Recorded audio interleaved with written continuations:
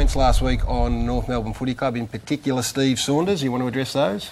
I did. Um, Garry, I made a mistake last week. I don't back away from my comments about the North President and his proposed medical model. I don't agree with that, but um, I made a mistake about Steve Saunders. I've apologised to him last week and I do again tonight. He, um, I, I, accept that he has not overruled the club doctor on medical matters. Okay, there it is. Uh, we will take a break on Footy Classified.